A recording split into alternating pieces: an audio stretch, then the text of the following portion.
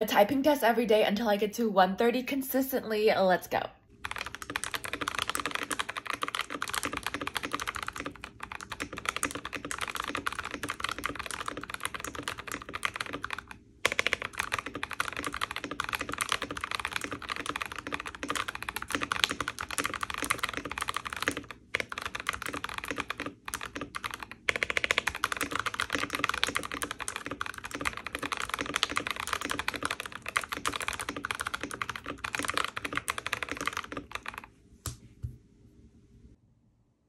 Pretty sloppy, but come back tomorrow.